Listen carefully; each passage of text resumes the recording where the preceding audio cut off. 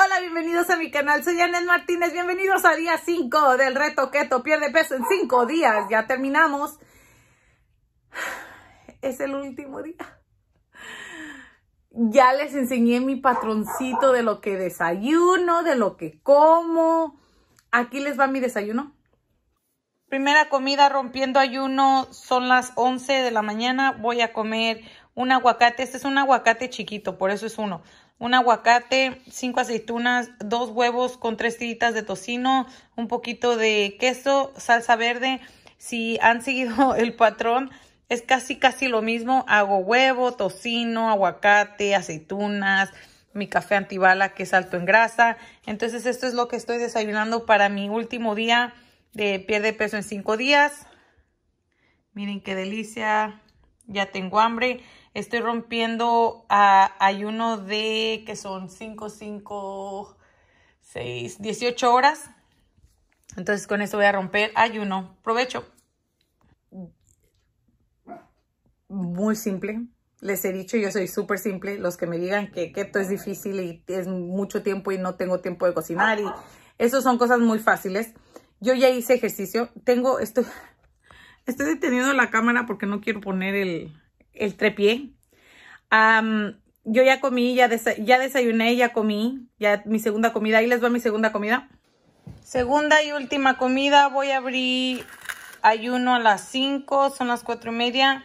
Un pedazo de carne, este es ribeye. Lo hice nada más con sal y pimienta. Estos son vegetales. Ya se los había enseñado en uno de los videos. Son los que compré, están congelados. Los compré en Costco. Vienen también con zanahoria, pero nada más no le pongo la zanahoria. Y esta es mi comida. Estoy tomando agua. Esto es lo que voy a comer ahorita.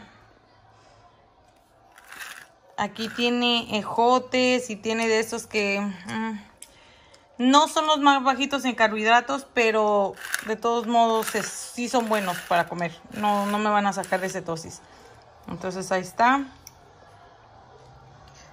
Ahí está mi comida. Provecho. Otra vez, cosas muy básicas, muy fáciles. rompí ayuno a las 11 y estoy abriendo ayuno a las 5. 18 horas de ayuno. Hice ejercicio, hice una hora y media de zumba. Ya estoy casi a cuatro meses después de cirugía, entonces ya voy a empezar a hacer pesas. Quiero hacerles otro reto más con macros, con qué, cuánta, cuántos macros tiene cada comida, pero denme tiempo porque es un poquito difícil. Tengo un negocio de, vasos que, ah, ahí está. Tengo dos hijos chiquitos, tres grandes, tengo mi esposo, eh, tengo varias cosas, tengo canales, tengo tengo muchas cosas. Entonces, denme tiempo y les voy a hacer un, reto de con comidas específicas. Si estás contando macros, si estás contando calorías, quiero hacer un reto así.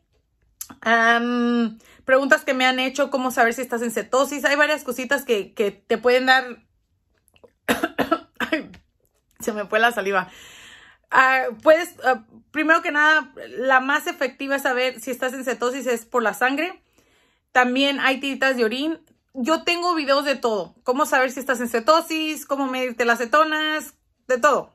Entonces vayan a buscar si, está, si son nuevas en el canal y quieren saber más de, temas específicos.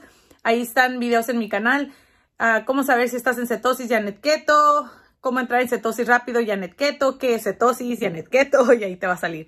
Ahí ya se me cansó este brazo. pero unas cositas es el sabor cuando empiezas a, el sabor, eh, cuando empiezas a sentir un sabor como de metal, ya estás entrando en cetosis. Cuando te empiezan a dar muchas ganas de ir al baño, estás entrando en cetosis. A lo que, a lo que yo he experimentado, como les digo, yo no soy nutróloga, yo no soy doctora, yo no tengo estudios médicos, yo solo les comparto lo que yo he leído, lo que yo he experimentado en mí, se los comparto, a lo mejor sí, a lo mejor no. Ah, otra pregunta que me hacen es, sin estás eh, solo si estás en cetosis estás perdiendo peso, no, porque hay de otras dietas, está la dieta low carb, está la dieta carnívora, que a lo mejor no estás en cetosis, pero sí estás perdiendo peso, entonces no necesariamente. A lo que yo he visto, cuando yo estoy en cetosis pierdo más peso que cuando no estoy en cetosis. entonces, es lo que yo pienso. Como les digo, puedes estar de acuerdo o no, está, es totalmente bien todo. La dieta keto es muy difícil de asegurar algo porque mucha gente tiene muchas ideas diferentes. Entonces tú toma lo que a ti te ayude, yo tengo, yo tomo lo que a mí me ayudó y así es como yo lo hago. Entonces mucha gente va a estar de acuerdo y mucha gente no. Está completamente bien.